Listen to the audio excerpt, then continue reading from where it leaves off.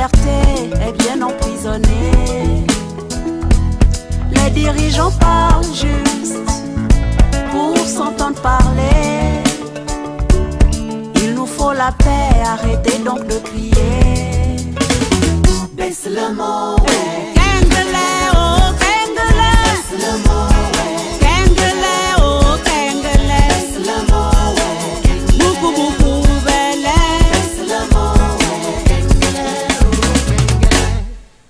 De bongo à bongo, 50 ans de bongo, de richesse à gogo, petit pays en paix. Mais nos vies sacrifiées et nos classes saturées, nos routes éventrées pour un pays en paix. Baisse le mot, oh.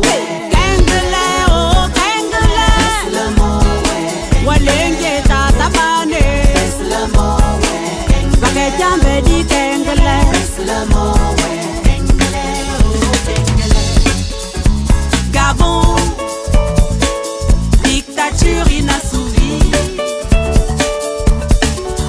où la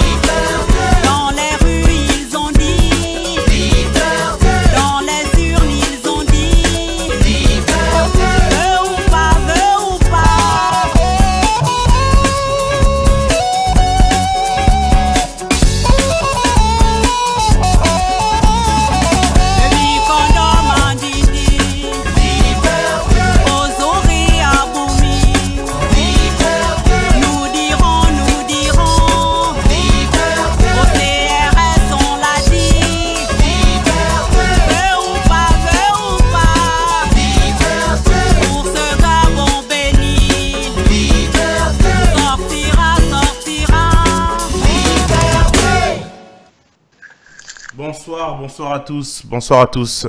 Bienvenue sur Résistance TV, la télé de la résistance gabonaise Tech Malcolm Dumapan. Et ce soir, notre invité, c'est euh, le capitaine Thierry Mouyouma. Bonsoir Thierry Mouyouma. Bonsoir Malcolm Limapan. Merci d'avoir accepté notre invitation sur Résistance TV. C'est toujours avec plaisir que je viens sur cette euh, TV de la résistance qui est aussi sérieuse que les Merci. personnes qui l'animent. Merci, merci beaucoup euh, Thierry Mouyouma. Alors, euh, je ne suis pas seul comme d'habitude. Euh, je suis avec le coach Sosten Zangoul de l'association RG33. Bonsoir coach. Bonsoir, bonsoir euh, Malcolm Lumapan, bonsoir Momo Thierry Mouyouma. Bonsoir Sosten, bonsoir collègues. Alors, alors euh, Sosten est là, mais également Lina Cooper. Bonsoir Lina Cooper. Lina Cooper ne, n'active jamais son micro. bon, Lina Cooper n'est pas là, Sosten, c'est ça? Elle n'est pas son micro. Elle, a, elle, a un petit, elle a un petit problème de connexion. un, euh, petit à- souci, un petit souci de connexion chez, chez Lina Cooper. Bon, elle va revenir tout à l'heure. Lina Cooper. Alors, chers amis, euh, euh, les choses sont simples. hein. Euh, ce soir, nous avons invité Thierry Mouyouma parce que figurez-vous que nous avons appris que le capitaine Thierry Mouyouma, un grand résistant de son État, a décidé de déposer sa candidature pour être sélectionneur des Panthères du Gabon. Thierry Mouyouma, est-ce que c'est la vérité ce que je suis en train de dire? Effectivement, euh, Malcolm, euh, je déposais euh, ma candidature au poste de sélectionneur de l'équipe nationale du Gabon. C'est une candidature qui a été mûrement réfléchie, tout en sachant que je suis un, révolutionnaire, donc je, je participe à la résistance. Face à, je manifeste avec les résistants depuis bientôt trois ans. depuis l'ordre électoral de août 2016. Donc j'ai déposé ma candidature, comme je le disais, après de réflexion avec les membres de ma famille, des amis. Et nous sommes, nous, sommes constitués en, collectif, collectif qui est composé d'entraîneurs de football, préparateurs physiques, des managers sportifs, d'anciens footballeurs, parce que derrière nous avons une visée sportive. Mhm. Alors, vous avez une visée euh, sportive. On va essayer donc de, comprendre un peu hein, les raisons qui vous ont poussé à, déposer votre candidature euh, euh, comme sélectionneur de l'équipe du Gabon. Code Sosten, combien de personnes veulent remplacer Daniel Cousin, l'ancien sélectionneur? D'après les informations lues dans un article, un journal gabonais, et d'après l'échange que nous avons eu en off avec l'invité, donc Thierry Mouillement, il paraît 82, 82, 82 candidats à, ce poste sont, sont cités. et Thierry Mouillement peut les détailler hein, encore un peu plus selon leur nationalité ou leurs origines. 82 euh, personnes, 82 sélectionneurs, coachs, entraîneurs euh, qui sont intéressés par l'équipe euh, nationale. Thierry Mouima, à, première vue comme ça, on, a envie de dire que l'équipe nationale du Gabon est aussi attractive que, la CDSAO. Tout le monde veut coacher l'équipe nationale du Gabon. C'est-à-dire que faut déjà comprendre le, modus operandi du Gabon, de la fédération gabonaise, n'est pas celui qui utilise beaucoup de fédérations au monde. La France, le Brésil, l'Allemagne et bien d'autres. Ils sont organisés en DTN et les entraîneurs sont généralement issus de la DTN, sont déjà connus du système, ils sont travaillés en catégorie inférieure. Ou alors, ces entraîneurs qu'on va contacter de manière directe en fonction du projet de la fédération. Euh, euh, ce n'est pas le cas du Gabon. Le, le Gabon a fait l'appel à la candidature. Et donc, dans cet appel à candidature, vous retrouvez 84, 82 bonhommes, 60 Européens, 15 frères africains, 4 Gabonais, 5 Sud-Américains et un, un Asiatique, je pense, pour être précis. Donc, euh, cet appel à candidature a, suscité beaucoup d'intérêt. Ça veut dire aussi que malgré l'inorganisation, malgré le manque de résultats probants aujourd'hui l'équipe nationale du Gabon, il y a quand même une valeur qui est là. Il y a, il y a un capital joueur même s'il est mal orchestré, il est mal organisé, mais il y a quand même un capital joueur qui aujourd'hui est là et qui est un entraîneur avec la capacité de bien travailler, de bien s'articuler, de bien s'accompagner, peut arriver à mettre une équipe compétitive. Mhm. Alors, on veut revenir avec vous euh, sur, euh, sur euh, les, motivations, hein, parce qu'il y, a quelque chose qui, alors nous ne sommes pas des, grands techniciens, sauf peut-être le coach Sosten Zangoul qui a vraiment des grandes capacités footballistiques et il n'y a pas que l'histoire euh, qui, qui, est son domaine de compétence. Mais quand même, Thierry Mouyouma, on, est quand même interpellé. On se dit, mais qu'est-ce qu'un résistant de la trempe de, Thierry Mouyouma Quelqu'un qui a fait des chams, qui... mais qu'est-ce qui va aller s'emmerder à, être euh, euh, sous la coupe d'Alain-Claude Bilibizé, qui est le ministre des Sports aujourd'hui? Est-ce que les gens sont en, droit de se demander est-ce que Thierry Mouyouma, euh, euh, voilà, qu'est-ce qui se passe euh, Voilà. Est-ce que vous comprenez qu'il peut y avoir des réactions un peu, un peu difficiles par rapport à cette candidature que vous avez posée? Mais vous savez, la réaction de l'homme n'a jamais été proportionnelle. La réaction de l'homme est toujours incompréhensible, fois, ou inexplicable. Mais, vous savez, avant de commencer, je vais paraphraser, je veux citer le, la Bible. Il y a un passage qui dit euh, le peuple, Mon peuple périt par manque de connaissances. Et c'est ce manque de connaissances que je vais essayer d'expliquer. L'équipe nationale est un état propre de football. C'est-à-dire que les interférences qu'il y a au jour d'aujourd'hui, politiques, n'ont pas lieu d'être si la fédération gabonaise de football se prend elle-même en charge. Donc, Billy Binze, qui est le ministre des Sports, donc une personne qui peut bouger demain ou après-demain, le sélectionneur n'est pas sous la coupe de Billy Le sélectionneur est un employé de la Fédération gabonaise de football qui signe un contrat avec l'entité fédérale qui s'appelle FEGAFOOT. Billy dans sa posture actuelle, connaissant euh, euh, son arrivée à ce poste, est un ministre de ce pouvoir unique mais il n'est pas ministre du football, il est ministre de la jeunesse et des sports. Ça, c'est pour, préciser juste les rôles des uns et des autres. Ensuite, vous avez la fédération qui a un démembrement du ministère. Donc, c'est la partie technique, c'est la fédération qui est en charge. Ensuite, vous avez l'organisation des compétitions locales. Il y a encore d'autres membres. Donc, les ligues, la Ligue nationale de football professionnel, celle-là qui organise le championnat national de football. Et vous avez les ligues qui, elles, organisent les différents championnats de province. La fédération, elle, n'a en charge que l'organisation de la Coupe nationale, la Coupe du Gabon, ou c'est le nom qu'on veut lui donner, mhm. et également la sélection nationale, donc les panthères du Gabon, avec toutes ces catégories. Panthères féminines, euh, panthères euh, masculines. Mhm. Voilà un peu comment s'articule euh, cette organisation au niveau de la fédération. Donc, si moi j'étais sélectionneur du Gabon, je serais en relation directe avec la Fédération Gabon de football, ayant un bureau au sein de la direction technique nationale, donc dans les enceintes de la maison Alexandre Samba, c'est-à-dire à la Figa Foot. Hmm. Mais, oui, mais Momo, euh, Malcolm, s'il te plaît. Oui, vas-y, vas-y, oui. Oui, euh, ce chronogramme que tu venais de détailler là, très bien précis d'ailleurs, euh, mais l'idée même, l'idée sous-jacente dans le, subconscient des Gabonais, c'est que c'est l'équipe d'Ali Bongo, en fait, le, subconscient des Gabonais résistants. Ils, ils appellent ça l'équipe d'Ali Bongo, même si euh, la vérité est celle-là que tu as, tu détaillée si bien d'ailleurs, mais la loi n'est pas tellement respectée comme ça, avec la, une hiérarchisation propre et bien définie. C'est pour ça justement que nous postulons. Parce que nous, nous n'appelons pas au subconscient des Gabonais, nous appelons à la conscience des Gabonais. Si c'est si le subconscient, nous allons bientôt appeler aux rêves des uns et des autres. Non, nous ne voulons pas les rêves. Nous voulons quelque chose qui est vrai. Nous voulons, nous voulons dire à nos compatriotes, nous expliquons nous, si on prend l'équipe nationale, c'est pour essayer de rétablir une certaine, rétablir de l'ordre et de la discipline, mettre les personnes qu'il faut à la place qu'il faut. Parce que quand vous regardez l'appel à la candidature de la fédération, il y a un fondement du football gabonais. Le sélectionneur qui vient, il vient avec un staff, une organisation, et il propose une méthodologie de travail. C'est effectivement ce à quoi nous avons pensé.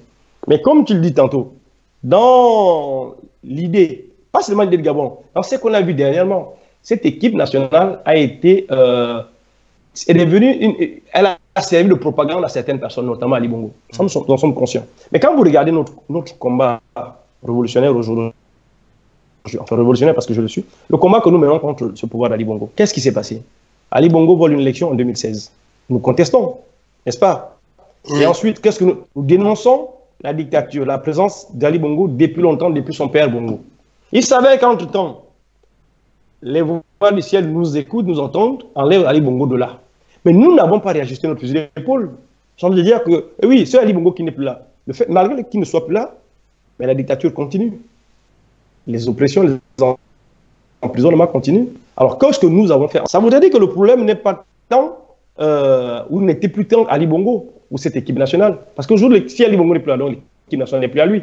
Si je réfléchis par rapport au, au dire des Gabonais, parce que c'est lui qui faisait la propagande avec cette équipe. Voilà partie.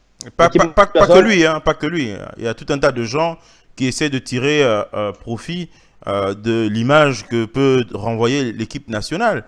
si je prends le cas de Billy Binze, par exemple, là je, là, je vais prendre... Parce que la première situation que, que, que, que, vous avez décrit, là, Thierry Mouyoma, c'est une situation qui, qui semble idyllique, c'est-à-dire que la fédération se gère toute seule, le ministère n'a pas euh, à, euh, à, imposer quoi que ce soit à la fédération, les règles sont très claires, il y a, il y a limite, limite, il y a des tranchées, quoi, il y a, il y a vraiment, euh, personne ne, ne, ne, peut influencer, mais, mais ce n'est pas la réalité du Gabon. Et on l'a vu par exemple avec Daniel Cousin. Ça ne vous a pas interpellé par exemple euh, le rétro-pédalage de Daniel Cousin qui a été obligé de s'excuser publiquement euh, euh, alors qu'il avait justement demandé au vice-président Manganga Moussavou de quitter le, les vestiaires parce que c'était le lieu sacré que le vice-président de la République n'avait pas, pas être là. Est-ce que vous, Thierry Mouyouma, coach des, Panthères du Gabon, vous allez dire, euh, par exemple, à Billy Binze qui vient vous apostropher à la mi-temps, euh, écoutez, votre place n'est pas ici, il faut, partir, sachant que c'est lui qui va influencer pour qu'on paye ou qu'on ne paye pas votre salaire. Regardez, Daniel Cousin n'a toujours pas été payé jusqu'à aujourd'hui. D'ailleurs, ça c'est une autre question qui arrive. Hein. Vous voulez aller travailler pour des gens qui ont peut-être pas vous payer. C'est-à-dire qu'à euh, un moment donné, j'aurais du mal à répondre à toutes vos questions parce qu'il faut que vous me posiez une question à la fois, je réponds et on avance. Oui, oui. Je veux commencer déjà. Je on va, on par va commencer par la première. Oui, commencer par la première. Comment vous allez faire pour vous affranchir de, de l'influence négative des gens du pouvoir? Il n'y a pas qu'Ali. Je veux commencer par expliquer la démarche qui a été la mienne et celle de mon staff. Mhm. Il y a l'appel à candidature et il y a le, nouveau, il y a le fondement, le nouveau fondement de l'équipe nationale du Gabon. La candidature nécessite quoi? Avoir une licence A. Licence A, nous ne sommes pas nombreux des Gabonais qui l'ont. Et comme dans ma démarche révolutionnaire, je lutte également contre le néocolonialisme, le capitalisme, la France-Afrique. Mais comprenez que la France-Afrique n'existe pas que dans la politique, dans le domaine économique, pétrolier ou autre. La France-Afrique existe dans le domaine du football. Je vous dis des choses que je sais et que beaucoup d'entraîneurs ou d'anciens footballeurs pourraient vous confirmer. La France-Afrique du football est gérée aujourd'hui par certains entraîneurs comme Claude Leroy, et à l'époque, il y a eu Toussier. Ils prennent des candidatures de certains entraîneurs européens. ils sont en Europe, ils n'entraînent pas. Regardez les cursus de tous ceux qui sont dans la sélection africaine, ils n'entraînent nulle part en Europe. Soit ils sont en échec en Europe, ou ils n'ont jamais entraîné en Europe. Et ils se positionnent dans les différents clubs à la demande de certains consulats de leur pays. Vous voyez? Et donc, si nous voulons éradiquer ce système, ce fléau, il faut que nous nous réattribuions nos sélections. C'est la première chose. La deuxième, c'est la représentativité de l'équipe nationale du Gabon. Il serait juste que l'équipe nationale soit entraînée par un Gabonais. Pourquoi? Parce que le Gabonais est en phase, il connaît la sociologie, il connaît le comportement, il connaît les réalités bien gabonaises. La, la troisième, c'est la raison économique. Le Gabonais qui vient avec un staff technique comme le mien, à plus de 80%, nous sommes Gabonais, l'argent que percevront ces personnes sera redistribué, dépensé au Gabon. Ça permet aussi que certaines personnes engagent d'autres personnes. On, on recrée derrière, c'est d'abord les premières raisons. Maintenant, je viens aux raisons qui sont les vôtres. Vous me dites, euh, euh, est-ce que j'accepterais que tel... Moi, je pense qu'au Gabon, j'ai quand même officié dans un club, pas le moins, j'en ai 105, ceux qui connaissent, c'est le club de M. Ngari. il y avait certaines règles. C'est pas tout le monde qui rentrait dans le vestiaire et qui avait droit à la parole. Ça s'est passé à 105, je suis resté 4 ans. Ensuite, j'ai été en sélection nationale avec les U20. Et donc, euh, j'ai une façon de travailler, j'ai un tempérament, j'ai un comportement, j'ai un caractère que certaines personnes connaissent depuis l'époque où j'étais footballeur. Hmm. Mais, à l'époque où vous avez entraîné 105, euh, on était encore un petit peu loin de la crise euh, électorale. Ali Bongo n'avait pas décidé de tuer des gens au QG de Jean-Ping, son principal opposant. Oui, c'est-à-dire que les gens dire que le football était déjà géré par les politiques. Le football est géré par les politiques depuis 75, hein, Malcolm. Bien sûr, bien sûr. Le football au Gabon est géré par les politiques depuis 75. Bien sûr. le problème de ces politiques, comme je disais, la méconnaissance de certaines personnes fait que quand les choses ne sont pas expliquées, définies, ça laisse libre cours à tout. Si on dit qu'il rentre dans le vestiaire, qui rentre pas dans le temps de la mi-temps, parce que la mi-temps, comme vous l'entendez, c'est c'est pas 15 minutes la mi-temps en fait. Mhm. Le retour, le vestiaire, le temps de part et repartir sur le terrain, c'est 12 minutes. Vous avez les 3 minutes de marche. Donc, quand les choses sont expliquées, définies, avec un service d'ordre mis en place, tout le monde rentre pendant le vestiaire. Mhm. Moi, j'entends bien vos, vos, vos, inquiétudes, si un tel vient, un tel ne viendra pas, mais les choses seront définies. Ça, c'est la première chose. Mais l'une des choses importantes qu'il faut retenir ici, c'est que dans la, la candidature mienne, j'étais bien conscient, je suis conscient que je, je me suis levé contre ce pouvoir en place. Je suis bien conscient d'où je pars, malgré le fait que mon dossier soit euh, euh, en forme, conforme à la demande, à, toutes les qualifications. Il y a ce regard externe. Lui, c'était un résistant. Est-ce qu'on traite le dossier d'un résistant comme on traite le dossier de quelqu'un qui ne l'est pas? Et c'est justement ce qui a permis que Daniel, dont vous parlez tout à l'heure, soit devenu sélectionneur sans avoir entraîné avant au préalable. Vous ce que je veux dire? Donc, c'est-à-dire que quand nous comparons les choses deux fois, toute raison gardée, il faut regarder les, les, profils, les, le cursus et les caractères des uns et des autres. Mais en fait, Thierry Mouyouma, je, je, je, vous comprends, vraiment, sincèrement, je vous comprends. C'est-à-dire que vous avez une démarche euh, où vous, vous limite, euh, il faudrait qu'on regarde les choses avec euh, la normalité normalienne, quoi, si je peux utiliser ce genre d'expression qui ne veut rien dire. Mais je pense que vous m'avez compris. C'est-à-dire que vous êtes en train de dire, mais écoutez, le football est simple. Moi, je vais juste être coach, je vais juste choisir des joueurs, les entraîner, faire en sorte que les choses se passent bien. avec les politiciens, il y aura absolument, on va dire, aucun lien. Mais Thierry Mouyoma, mais c'est pas vrai ce que vous dites. Il euh, y, a, les liens entre les politiciens et les, et, les coachs sont extrêmement importants. À tel point même qu'on demande à certains coachs même de modifier leur composition d'équipe. Thierry Mouyoma, vous avez été capitaine des Panthers, vous n'allez pas me dire que ce que je dis là, ce que je dis c'est faux. Hein on, on, négocie, on négocie la venue de certains joueurs euh, euh, que, que, les, que les coachs ne veulent pas forcément. Euh, je veux dire, voilà, si disons que par exemple vous n'avez pas envie de d'Aubameyang parce que il ne veut pas venir en équipe nationale, mais le président de la République, lui, lui, il veut Aubameyang. Vous, vous allez dire non? Vous allez dire non au président de la République? Malcolm, il faut que je vous explique le cheminement. C'est pour ça que je dis ayons un débat sans mhm. passion. Je suis en train dire ceci. Si je suis sélectionneur du Gabon, il y a des critères de, sélection et présélection de joueurs. Le premier critère va être la compétition. Celui qui est compétitif dans son club, c'est la sélectionner. Le deuxième critère, c'est le nationalisme, la volonté. Parce qu'il y a des joueurs aujourd'hui qui surenchèrent. Mhm. Vous savez que euh, quand nous on a arrêté, il y a quand même des joueurs qui sont arrivés en sélection parce que leur famille ont reçu de l'argent. Ça, je dis, il est inadmissible qu'un Gabonais qui veut jouer pour son pays ou qui doit jouer pour son pays refuse de venir parce qu'il faut, il faut monnayer son talent.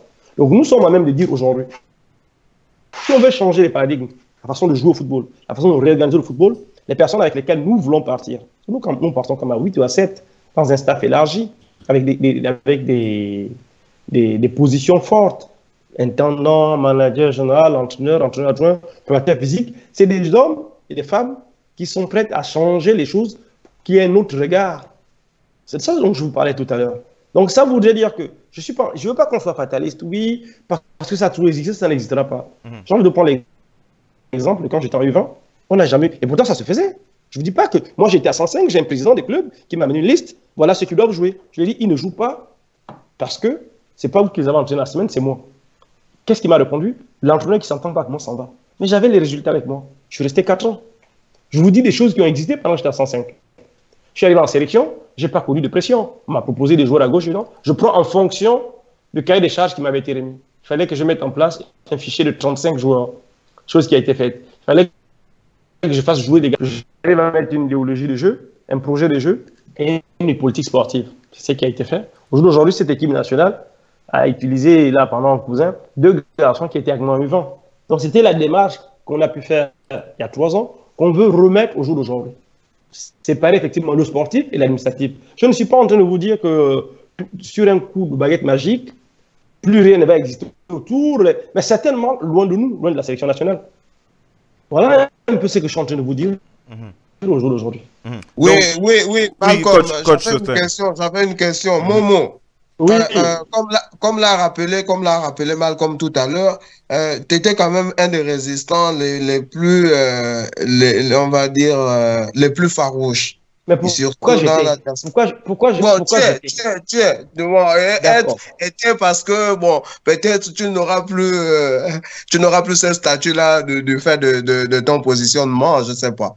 Mais c'est peut-être un, un, euh, une, une forme de verbe que j'ai mal employé. C'est un temps que j'ai mal employé peut-être. Ouais. Euh, excuse-moi pour le temps, mais tu es un de ces résistants farouches. Est-ce que tu ne penses pas, tu n'as pas peur de cet esprit un peu belliciste, hein, euh, de cet esprit belliqueux des gens qui, qui sont nos dirigeants uniques, comme tu l'as dit? Est-ce que, pour moi, ça m'effraie un peu. Est-ce que on va évoluer dans un milieu serein? Est-ce que le milieu est sain? Le milieu du sportif gabonais, qu'il est sain du fait même déjà que je, je, j'ai posé comme question, il y a, il y, a, il y, a, il y a des prisonniers politiques, il y a certains Gabonais qui sont pas du tout contents, donc le milieu n'est pas sain. Mais c'est surtout l'esprit belliciste de nos dirigeants. Comment ils vont t'accueillir après avoir, après avoir vu euh, tes, tes, tes, actions au sein de la diaspora? Beaucoup de questions. Je commencer par... Non, la question euh la dernière, en tout cas. Ça, c'est à eux d'apprécier. Sincèrement, euh, je ne peux pas être aimé de tous. J'ai déjà ma famille, mes amis, mes enfants qui m'aiment. Moi, ça me suffit. C'est-à-dire que les, positions des uns aux autres, je peux pas, je, peux rien contre. Mais après, quand on regarde la dangerosité de la chose, je comprends bien l'intérêt des uns et des autres. Même certains membres de ma famille posent le problème. Au sujet de la question sécuritaire, tu dois revenir au pays. Mais, mais, mais, mais En France, où on vit, parce que si ce pouvoir et encore en place aujourd'hui, c'est que la France a une partie de responsabilité. En France, où on vit, les gens ne sont pas en sécurité, j'ai envie de te dire. Je sais de quoi je parle. Moi, j'ai participé à, à, plusieurs événements ici en diaspora, avec la résistance. Récemment, je suis parti en Afrique euh, parce que depuis que j'ai arrêté d'entraîner en janvier, je travaille sur la réflexion du football avec certains entraîneurs. Je participe à, à certains séminaires, je vais à gauche, à droite. J'étais en formation, enfin, je suis parti participer à, à quelques formations au Togo, au Ghana et au Burkina. J'ai été arrêté à l'aéroport de Belgique. Sur mon retour. Non, aller comme retour. Pourquoi? Parce que la France m'a fiché. Mais ce n'est pas le Gabon qui m'a fiché. J'habite bien en France. J'ai été fiché. Ce que je vous dis, le jour où j'ai été en préfecture pour le renouvellement de mon titre de séjour, j'ai été, la, préfecture appelé la police. La gendarmerie est arrivée. Ce que je vous dis, je ne vais peut-être pas citer son nom ici, j'étais avec une camarade résistante, une Gabonaise qui vit en France. La gendarmerie est arrivée, l'ordinateur de la préfecture annonçait euh, un signalement. Les gendarmes ont appelé la salle de l'enseignement général qui ont établi son titre de séjour de. Trois jours plus tard, j'ai voyagé chez Alogana pour 15 jours. Je suis resté à l'étranger. Quand je suis revenu, je me suis fait arrêter en Belgique. Et là, le policier belge, donc on se fâche, on va arriver en anglais, il va m'expliquer. Il y a un signalement contre votre personne. Je demande pourquoi. Il dit c'est pas nous, c'est la France qui signale. Vous êtes fiché, euh, mais il n'y a pas de danger et il y a une date de péremption sur ce signalement. Je ne pense pas déjà qu'il y ait beaucoup de Gabonais qui soient signalés ici en France. Donc pour dire que la dangerosité, on l'a aussi ici. Quand les gens veulent nous faire du mal ou autre. Peut-être qu'au Gabon, c'est pire parce que là-bas, c'est le foyer de. On est dans leur. oui, mais Thierry, vous prenez un bon exemple. On est dans un pays de droit, on est dans des pays de droit ici. Vous êtes, vous êtes fiché, oui, très bien. Bon, vous êtes fiché, d'accord. Il y a beaucoup de résistants qui sont fichés. Mais par exemple, par exemple, euh, il, il est établi que vous n'êtes vous n'êtes pas un danger pour la société. Donc on vous a fiché du fait de votre activité de résistance. Mais, mais, les autorités ont bien vu que vous n'êtes pas un danger pour la société et du coup ne vous mettent pas en prison. Ils ne vous mettent pas en prison. Mais la question de Sosten, c'est mais le jour, Thierry Mouyuma, le jour où vous allez descendre à l'aéroport international Lyon-Bas, est-ce que vous ne prenez pas le risque de passer directement du rêve de sélectionneur à sans famille? C'est la question que vous pose euh, Sosten Zangoul. Oui, mais, vous permettez que je, je, réponde. Oui. Il faut la regarder sur deux volets. Qu'est-ce qui a permis Parce que moi, quand je suis résistant, je suis résistant, je suis un leader d'opinion avec mon passé d'ancien sportif et autres. Donc, ça voudrait dire quand même qu'il y a des personnes qui ont rejoint le combat parce que ces personnes m'ont vu dans le combat. Ils se sont dit, si lui il y est, c'est que c'est crédible, n'est-ce pas? Mhm. Qu'est-ce qui ne pourrait pas être aussi. Est-ce que ça ne pourrait pas être un réveil aussi, un sursaut pour certaines personnes? Peut-être celle de chez moi ou c'est d'autres provinces qui diraient, il arrive, il s'est battu en France, il revient ici juste pour travailler, on l'arrête. Et que ces gens se mettent peut-être dans la rue. Ça pourrait pas arriver aussi? Si je réfléchis comme ah, mais c'est pas arrivé pour beaucoup de personnes. Hein. On a vu bien, on a vu bien euh, Landry Amia Washington qui était devenu un leader d'opinion dans cette période-là. J'ai envie de dire, euh, bien heureux celui qui sait de quoi il me fait. Celui que, oui, c'est ce que je veux dire. Au jour d'aujourd'hui, on ne peut pas s'interdire. Il ne faut pas qu'on tire la corde d'un seul côté. Il faut qu'on soit capable de comprendre les choses. Est-ce que ça peut arriver? Bien. Mais j'expliquais au départ, la démarche, au jour d'aujourd'hui, il y a un protocole qui est mis en place. Vous postulez, après postuler, on retient les candidatures, vous discutez avec la fédération. Ça, c'est une autre étape de notre projet. Et cette étape de, de ce projet, je ne suis pas seul, je, vous dis que nous ne sommes pas moins de 10 personnes par l'encadrement des personnes réfléchies qui vivent ici et d'autres qui vivent au Gabon. Nous avons une procédure bien établie et bien réfléchie. Comment on avance au fur à mesure? La première, c'était déjà de revenir aux affaires, de montrer que certains qui ne sont pas bien vus aujourd'hui à ce pouvoir ont les qualifications pour pouvoir assumer ce poste de sélectionneur. Parce que nous sommes dans un domaine du sport, comme pour ceux qui font la politique. Si vous restez un moment inactif pendant trop longtemps, vous sortez du circuit. Donc là, déjà, nous sommes revenus dans le circuit. Effectivement, nous savons aussi que ma candidature est un caillou dans la chaussure des décideurs. Parce qu'il faut bien l'analyser. Et cela nous donne, nous aussi, euh, demain, l'opportunité de rester critique quant au choix du futur sélectionneur. Hmm. Pas ce que je veux dire? Ça veut dire qu'au jour d'aujourd'hui, si on ne pas le faire, on aurait perdu le droit de critiquer ou de nous lever demain pour dire vous avez pris X, vous avez pris Y, ce n'est pas en phase avec les recommandations actuelles une, une, autre question, une autre question pour euh, terminer là pour l'instant. Euh, donc, euh, pour, par jurisprudence, ça, ça voudrait dire que moi aussi, je peux m'engager à retourner au Gabon, pas peut-être avec ce statut-là, mais en tant que simple citoyen, plus que nous avons au préalable mené quasiment les mêmes actions, sinon toi, un peu plus que moi. Donc, moi aussi, je peux m'engager à repartir au Gabon. Sosten, c'est que j'ai envie de te dire c'est qu'au jour d'aujourd'hui, mais pendant que, pendant que nous parlons, pendant que nous faisons des actions en France ici, tu sais quand même qu'il y a certains compatriotes, des hommes et des femmes qui sont repartis au Gabon, qui partent de manière régulière, qui reviennent. Ça, tu le Je sais, ne sais pas si, je ne sais pas si, c'est- pas pour minimiser leur action, je ne sais pas si ils ont fait à peu près ce que toi tu as fait quand même. Bon, d'accord. On va rester donc dans le high level. C'est ce que j'ai fait. Ce que j'ai fait, imaginons, je te dis, mais à tout hasard comme ça, alors soyons fous. Je suis choisi sélectionneur du Gabon.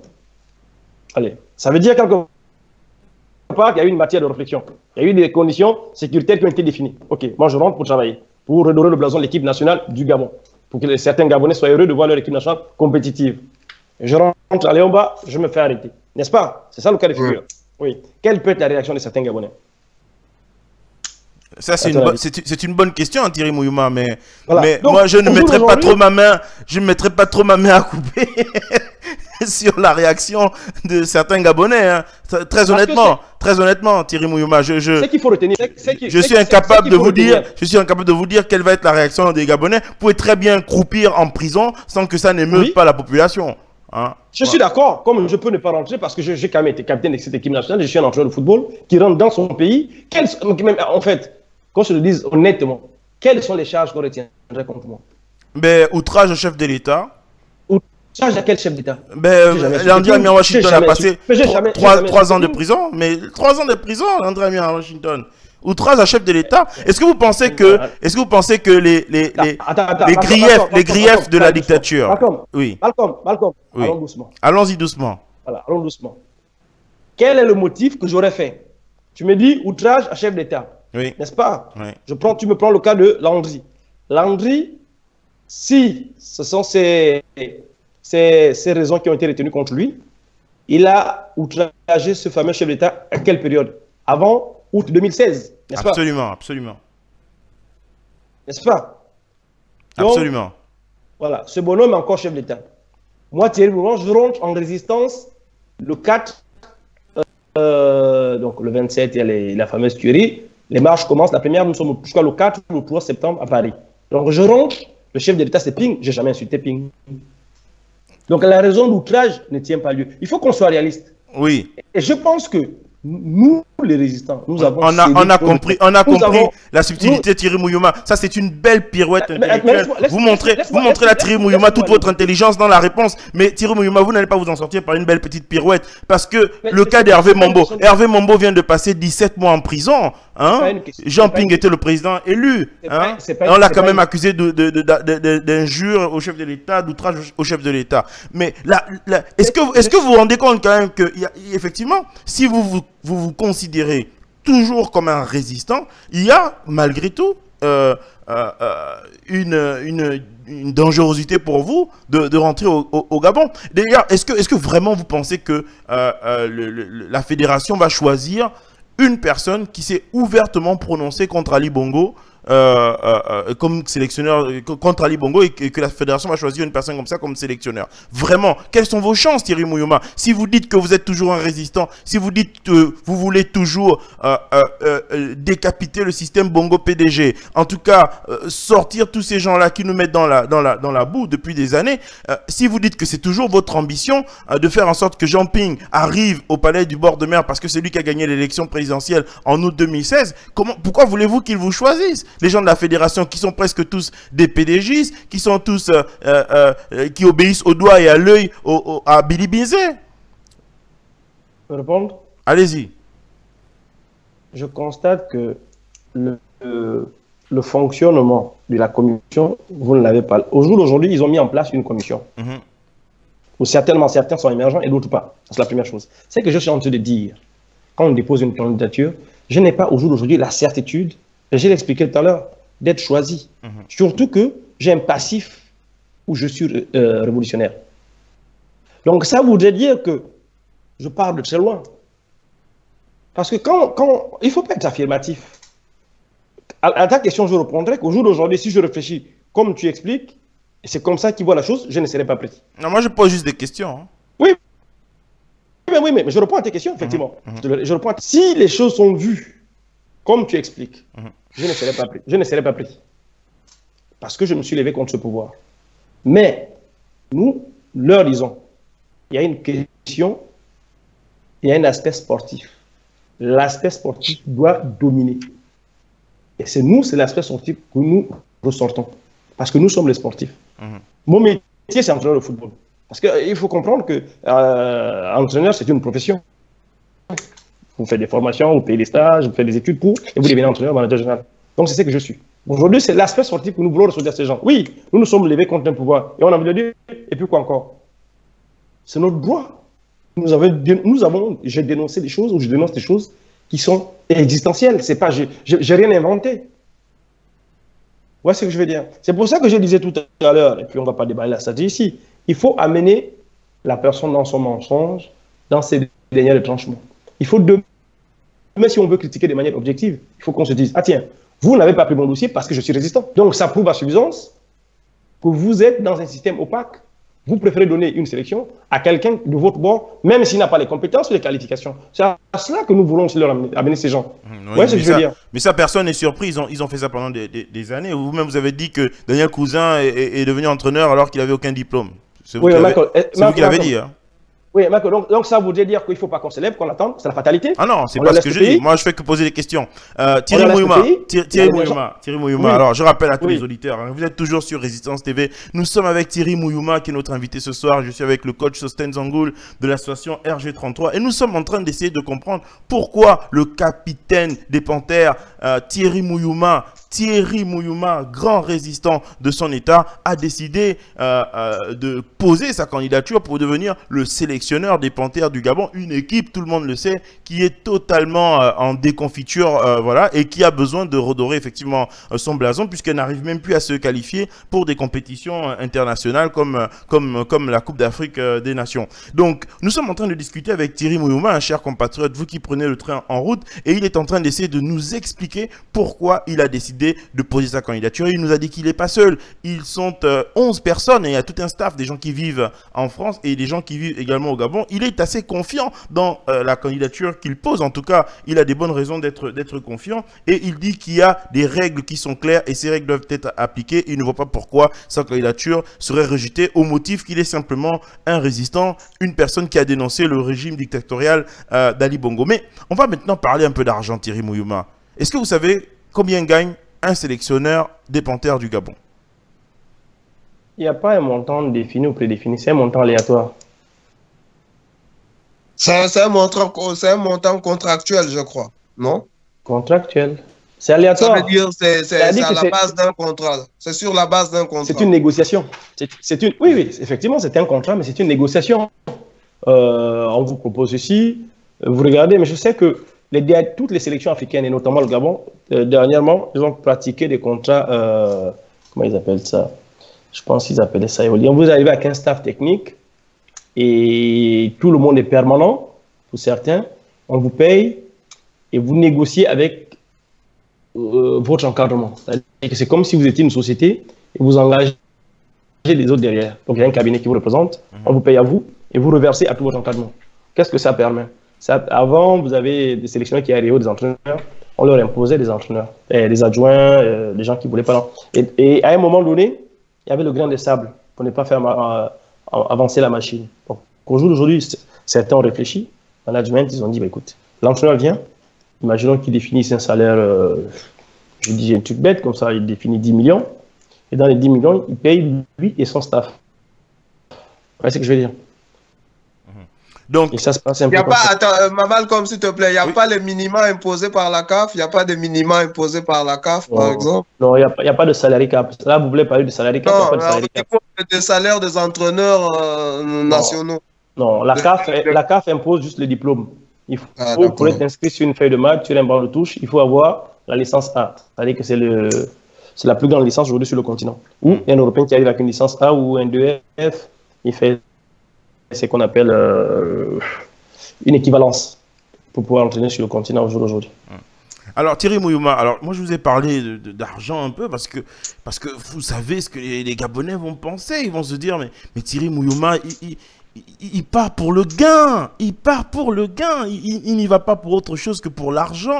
Parce que quand tu es Panthère, ça gagne beaucoup, beaucoup d'argent. On se rappelle les salaires énormes de Camacho. On se rappelle les, on a vu d'ailleurs dans la presse que on, devait des sommes folles à Daniel, Cousin. Enfin, je veux dire, quand on regarde le programme des bourses qu'on doit supprimer, euh, voilà, on, se, on, a, on, a, on a le vertige hein, quand on regarde le, En plus, vous avez un staff de, de 11 personnes quand même. Et ces personnes, il faut bien qu'elles aient un salaire quand même. Donc, euh, sélectionneur des, des, Panthères du Gabon, euh, c'est un budget énorme pour une fédération. C'est costaud.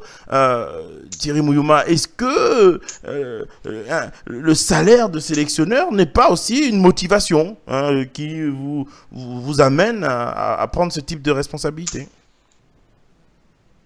Il faut comprendre que comme c'est pas moi qui dis, c'est Karl Marx qui expliquait déjà quand il parlait de son fameux praxisme, la loi du travail de l'employé, c'est-à-dire que tout travail nécessite un salaire. Ça, c'est clair, c'est pas moi qui l'ai inventé. Nous travaillerons, nous serons, si nous sommes pris, effectivement, nous serons payés en fonction de ce que nous aurons discuté. Mais ce qui nous amène, c'est pas le salaire. Parce qu'au jour d'aujourd'hui, euh, mon staff et moi avons postulé que là. Parce qu'il y a quelques temps en arrière, j'aurais pu signer en Afrique de l'Ouest. Donc, on peut signer n'importe où. Ce qui différencie au jour d'aujourd'hui, certaines sommes dans le football, ce sont les, les investissements, les apports et les retombées c'est pas une compétition parce qu'aujourd'hui, sur les compétitions euh, euh, continentales où euh, les équipes nationales arrivent à rapporter, faire gagner à leur fédération beaucoup d'argent, notamment dû aux, sponsors. Je ne vais pas citer les noms ici parce que c'est de la publicité inutile à ces personnes qui n'en ont pas besoin. Donc, ce qui nous amène, c'est pas ça. J'ai expliqué que ce qui nous amène, c'est déjà le nationalisme, la, la volonté manifeste d'asseoir une équipe nationale compétitive, recadrer les choses, parce qu'on est passé par là. J'ai quand même passé, j'ai été euh, international gabonais, je suis arrivé la première fois en 92. J'ai joué de 95 à 2006 en équipe nationale. Ensuite, j'ai entraîné euh, jusqu'en 2016 au Gabon. ce qui est, je vous parle pas d'économie ou de droit ou autre chose, mais je vous parle de sport, de football, c'est mon domaine. C'est la chose que je sais faire, je sais faire le mieux. Oui, Momo, euh, une autre question. Euh, y a, y a un, moi, je peux penser qu'il y avait un préalable. Le préalable, c'est quoi? C'est cet audio qu'on avait écouté là d'un monsieur euh, du qui, qui, qui semblerait-il, hein, par sa tonation, euh, qui, qui a tenté de vous corrompre, bon, qui voudrait vous corrompre à rejoindre, à laisser toute activité dans la résistance, dans la résistance et tout. Et est-ce que ça là, est-ce que votre candidature ne fait pas un peu suite à, à toutes les propositions que vous avez eues? Parce que vous avez eu plusieurs propositions, à part celle-là que nous avons écoutée dans l'audio qui, a, qui, était un peu devenu viral un moment. Est-ce que vous, vous ne cédez pas un peu aux sirènes de ces propositions-là? Là, tu me... Attends, que je comprenne ta question. Là, tu me poses la question ou tu affirmes que j'ai eu des communications non, je demande, est-ce que euh, on avait écouté un audio? Euh, mais si, si, tu as écouté, il y, a deux personnes qui ont partagé cette communication. C'est le monsieur et moi. Hmm. N'est-ce pas là? Si cet audio est sorti, c'était l'un ou l'autre. Et à ce que je sache, c'est moi qui l'ai remis aux, aux résidents. Comment? C'était un vendredi, j'allais à l'entraînement. Je leur ai dit, apprêtez-vous. Possible que une certaine personne X, que je ne connais même pas, me rappelle. Si elle me rappelle, je vous fais signe, je pars parce que j'habite en province, je viens sur Paris, on se rend à cet hôtel. Pendant que j'étais à l'entraînement, l'audio était sur les réseaux sociaux. C'est comme ça que c'est sorti. Donc ça voudrait dire que s'il y en avait une deuxième, une troisième, une quatrième, certainement je l'aurais partagé avec ceux qui sont. Non, mais non, non, je, disais, il y a plus, il y a eu autre, il y a eu des autres propositions, pas que, pas que lui qui vous demande d'arrêter la résistance, euh, moi, même moi, à mon petit niveau, je pense avoir eu certaines propositions, mais vous, à votre niveau encore un peu plus, je crois que vous avez eu, de, vous avez eu des propositions. Sosten, sincèrement, je pense pas qu'il. J'ai une euh, frangine qui est, on a une frangine résidente qui est à Lyon, qui me disait comme ça, oui, il y a, il y a des, il y a des, il y a des grands et des petits résistants. Je lui disais, non, il n'y a pas de grands, il n'y a pas de petits. Chacun de nous fait ce qu'il peut. Comme non, sans, sans vouloir stratifier. Non, sans vouloir oui, stratifier. Mais, c'est pour vous ça avez, que je vous êtes un people. Vous êtes un people à notre niveau sans vouloir stratifier. People, people. Tout le monde est people. Non, sincèrement, Sosten, il n'y a, pas de, il a pas de raison euh, autre que le sportif au jour d'aujourd'hui. Si c'est la raison, euh, si c'est parce que tu estimes que, parce que je vois ta question, j'ai été corrompu ou acheté pour y aller, Non, pas, du tout. Pas du tout, j'estime pas. je pose je comprends pas. C'est quoi la question? C'est quoi la question? ce préalable-là. Oui. C'est quoi la question? Pose-moi la question. La question, c'est celle-là. Est-ce que vous n'avez pas cédé un peu à un petit chantage, pas trop le chantage, mais à les appels de sirène comme ça là, ou euh, comme l'audio qu'on avait écouté, on voit bien quelqu'un qui tente de vous dissuader de continuer la résistance. Est-ce que ces, appels-là ne, sont, ne se sont pas multipliés et dans vos têtes, vous avez fini par penser que voilà, bon, euh, peut-être ils ont raison, je ne sais pas. C'est pas affirmatif, mais c'est dans le sens. Que je, je, euh, je, dans une question, il y a un fond et la forme. Là, et le fond et la forme, je ne comprends pas. Cet appel m'aurait dit quoi? Vas-y, postule, tu quittes la résistance. Mais moi, je te dis ce soir, la commission qui doit statuer sur les candidatures des 82 entraîneurs s'est mise en place mardi. Hier, c'était férié, elle a repris qu'aujourd'hui. Donc, j'aurais moins pu attendre à la fin, parce que ça dure 10 jours, quand ils ont fait les statuts, j'ai dit, je suis toujours résistant. Mais je t'ai dit, quand tu parlais de l'émission, je t'ai dit qu'on peut la faire même lundi. Et la question était celle-ci. Il n'y a pas de dangerosité par rapport à ta candidature. J'ai dit, non, j'assume. J'ai toujours assumé ce que je fais, c'est que je suis Sosten. C'est ce que je veux dire. Moi, j'assume ce que je fais et ce que j'ai dit. Je suis révolutionnaire, marxiste, guévariste, sankariste, ça c'est clair, ça ne changera pas. Résistance, c'est l'appellation que nous avons parce que je marche, on se met debout face à une inflation. Mais moi, je suis euh, révolutionnaire à la base. J'ai un code d'honneur. Même quand j'étais footballeur, je n'ai jamais rien pris derrière et je ne prendrai pas. Ce genre d'arrangement arrière-boutique, ça ne marche pas et ça ne m'intéresse pas. Ce que je te dis au jour d'aujourd'hui, c'est j'ai postulé pour l'équipe nationale pour reconstruire l'équipe nationale. Euh, qu'est-ce qui se passe? Moi, j'ai joué, euh, j'étais au foot il y a huit jours. Là, je compte une équipe congolaise. J'ancien footballeur, notamment. Et les Ivoiriens qui étaient là aussi, qu'est-ce qu'ils disent? Bon, euh, Thierry, on vous achète de la télé, nous, on sera à la canne, vous la regardez. mais ça, c'est des choses qui choquent. Oui, effectivement. Ça choque. Quand on a été footballeur, quand on a été international, capitaine de cette équipe nationale, ça, ça choque et ça fait mal. Effectivement. Ça, fait mal. Ouais. Moi, j'ai vu ici des résistants qui, euh, qui, en France, ne peuvent pas supporter l'équipe nationale du Gabon, mais supportent l'équipe nationale de France. Ce qui, pour moi, était un non-sens total. Oui, effectivement. C'était un non-sens. Il y en a qui ne supportent pas les Panthères, mais sont, prêts, sont à supporter la France. Je dis, mais. Et quand nous marchons, qu'on a la France, oui, nos problèmes viennent de la France. Oui, la France politique et la France du football. Si vous connaissez le football au Gabon. Donc il faut, il faut, il faut éviter les lois de poids, de mesures. Il faut qu'on soit cohérent dans notre combat et ce que nous disons et ce que nous défendons. Je pense, je, peux te le certifier, c'est même pas je pense, je reste cohérent dans ma démarche et je n'ai pas froid aux yeux. Il y a, Thierry, il y a, il y a, il y a une, il y a une critique, euh, bon, le mois dernier que j'ai écouté des résistants lorsque j'étais à Paris. Euh, ton absence s'est fait un peu sentir dans les manifestations. Hum. Pourquoi? je, vais, répondre déjà par une boutade. J'ai l'impression qu'il y en a qui vont la juste enregistrer l'absence de Thierry Bouillon. Alors, je vais être sérieux. La dernière fois que j'ai été, j'ai fait un voyage. J'ai été à, à, Rome. Et quand je suis rentré de Rome, tous ceux qui étaient à Rome, nous étions combien? 10 ou 11. Tous ceux qui étaient à Rome savent comment je suis rentré de Rome. Dans quel état? Je suis rentré avec euh, une jambe. Ma jambe droite faisait le double. Ma jambe gauche. J'avais un abcès. Et je suis resté deux ou trois semaines. Et je me suis fait inciser l'abcès autour du 18 mars.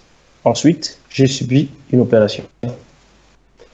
Et là, je vais, je vais, je vais pas aller dans les détails de, ce qui se passe dans ma vie au quotidien. Je vais quand même vous donner un aperçu pour que les uns et les autres euh, et en tête l'homme que je suis ou ce que je défends.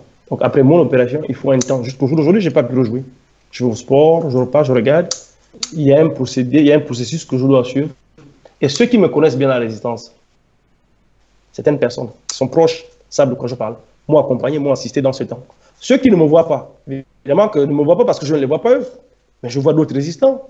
Ceux qui habitent dans ma ville, je les vois. Euh, d'autres qui habitent à, à Orléans, à Lyon, on se parle au téléphone, on échange. Euh, pas plus tard que la semaine dernière, j'étais au téléphone avec euh, Roland Lotto, j'étais avec euh, Yvon Moutinga, pour ne citer que cela. J'ai beaucoup de personnes en ligne avec qui on échange. Et puis, j'ai les week-ends, pour ceux qui savent, je viens avec mes enfants à la marche. Je suis en garde alternée, j'ai mes enfants tous les 15 jours. Mmh. Donc, ces enfants aussi ont besoin de distraction. Il ne faut pas que la, je ne suis pas marié à, à la résistance. Mmh. J'ai un devoir de parent Et il y va aussi de, de, de, l'équilibre de mes enfants. Quand nous avons pris en janvier, euh, janvier 2018 le bien mal acquis du Borgio, Sosten, tu as vu mes enfants pleurer dans une voiture pendant que la police m'arrêtait. Mes enfants étaient dans une voiture en train de pleurer jusqu'à 4 h du matin. Les enfants qui étaient venus à la marche toute la journée, qui ne comprenaient pas que leur père soit arrêté. Certains étaient où avec leurs enfants? Donc, j'ai pas envie d'entrer dans ces considérations de qui fait quoi, qui a dit quoi. Donc, ces enfants, il y a un temps où je dois les protéger. Il y a un temps où je dois les amener faire vélo. Il y a un temps où je dois les amener faire des activités. Ou il y a un temps où j'ai besoin de rester avec eux. Thierry Mouyouma, on va faire un peu de, politique fiction là. Hein. On va un peu essayer de, se projeter dans, un futur proche. Disons, Thierry Mouyouma, que vous êtes maintenant le sélectionneur des Panthères du Gabon. Votre candidature est validée. L'équipe nationale hérite de, l'ancien capitaine euh, des Panthères du Gabon. Voilà, on va pouvoir mettre en place une politique euh, euh, sportive au niveau des Panthères qui tient la route. Et puis, vous obtenez déjà de, bons résultats. Hein. Les préparatifs de la prochaine Cannes sont plutôt pas mal. Vous avez gagné les deux, les deux ou trois premiers matchs, etc. Et même Aubameyang a décidé de revenir en sélection sans trop faire de chichi.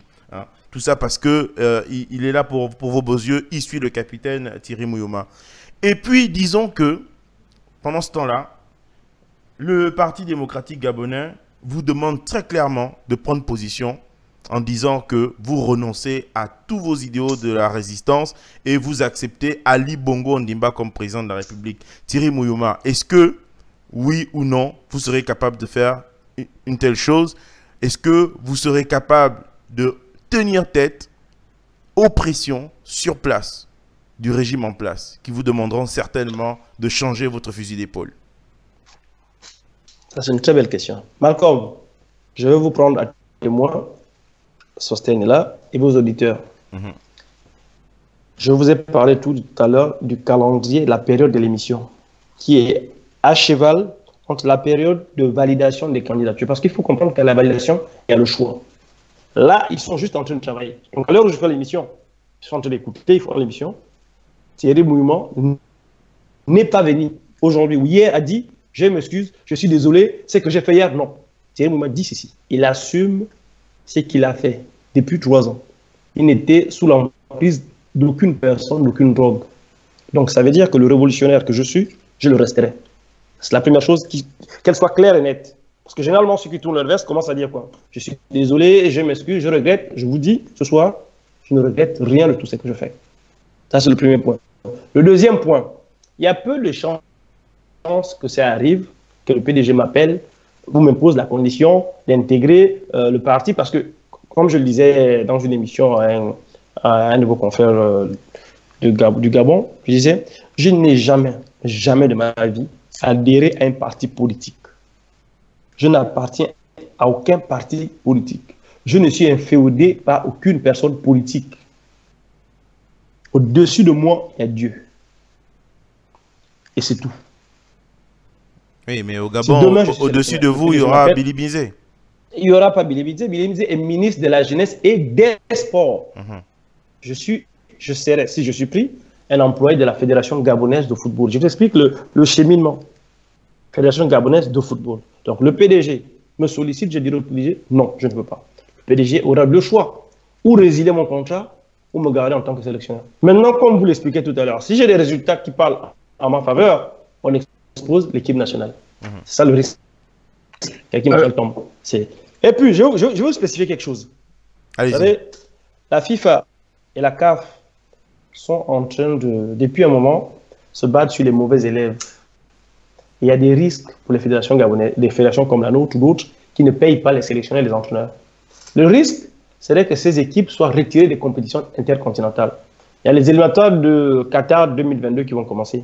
Si vous êtes en difficulté, si vous êtes en conflit d'intérêts avec un entraîneur,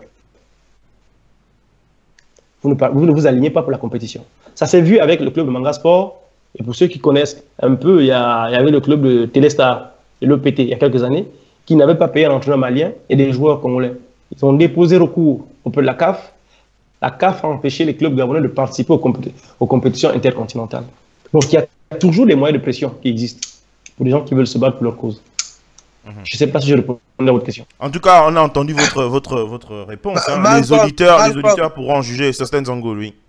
Oui, une question simple. Momo, euh, on sait que les anciens footballeurs euh, forment déjà une certaine caste et dans la résistance aussi, il y a certains de vos grands frères, anciens coéquipiers, qui sont encore résistants et vous les, Mais vous qui les sont encore résistants Qui, qui sont encore Qui- qui résistants? Sont que je ne résistants? suis plus. Non, excuse-moi de, de moi employer. Qui sont résistants, Enfin. qui sont résistants comme vous, et sûrement vous les, a- vous les avez interrogés sur la question. Qu'est-ce que, qu'est-ce qu'ils ils vous ont, ils vous ont répondu? Euh, Qu'est-ce qu'ils ont dit? Vous, vous vous êtes consulté for- forcément, plus que vous agissez dans les mêmes, sphères- dans les mêmes sphères. Les mêmes sphères. euh, De la résistance et du football. Effectivement, j'ai eu euh, les anciens footballeurs au téléphone, notamment Guirogène Zamba, qui, je salue au passage, m'a donné un conseil simple. Fais une émission, Malcolm Limapan, explique tes motivations. Maintenant, le contenu de l'échange qu'on a eu ensemble va rester, euh, va rester à notre niveau, parce que nous réfléchissons, nous discutons par rapport au, au, lendemain du football chez nous. Mais l'un de ces conseils, c'est écoute, je comprends ta démarche, fais une émission avec Malcolm. Et c'est un peu là qu'est venue l'idée de l'émission. Je t'ai eu au téléphone ensuite. Vous étiez à un mariage, je pense, euh, il y a deux semaines ou huit jours, huit jours en arrière à Rennes, je crois, un truc comme ça. Donc il était question qu'on fasse cette émission. Et le lendemain, je t'ai eu au téléphone. Je t'ai dit, tu me disais, tu avais ce questionnement, mais tu n'as pas pu m'appeler. Et ça aussi, ça, permet de tordre le cou un peu ceux qui disent, oui, on a essayé d'appeler Thierry, son téléphone est fermé, éteint. Mais c'est pas possible, j'ai le même téléphone. Même quand je suis à l'étranger, je suis en Belgique tous les trois jours. Mon téléphone, il passe. Je discute avec toutes les personnes. Donc, euh, je suis joignable par tous. J'ai discuté avec les sportifs. Euh, Il y en a qui m'ont suggéré certaines choses. Il y en a qui sont dans la démarche que nous avons entreprise, qui, qui sont au courant, qui savaient où on allait, c'est qu'on ferait.